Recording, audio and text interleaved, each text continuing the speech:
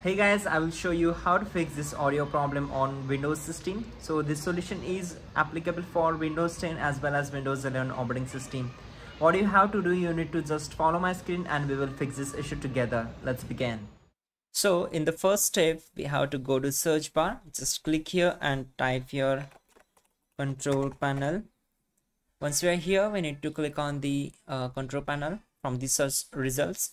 So click here you'll get this window. And now just go to view by and select large icons. If you selected category or small icons change it to large icons.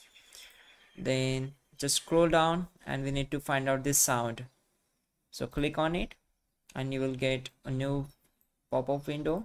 So just uh, right click on the speakers disable it and enable it again. So this will also gonna fix uh, the issue if this not work then just uh, select it click on properties go to enhancements tab and we need to check this option disable all enhancements. Now go to levels tab and make sure you have to set this up to the 100% once done click on apply and then ok and close the window. Now right click on the windows icon.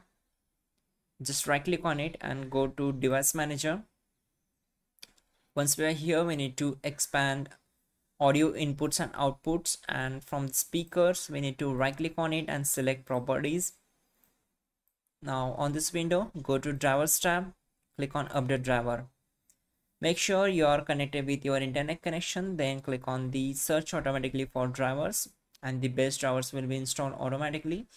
Now close the window and simply restart this restart your system and your problem will be solved you can also check out our description link to fix this issue quickly and effectively. Go check out and yeah, you're good to go.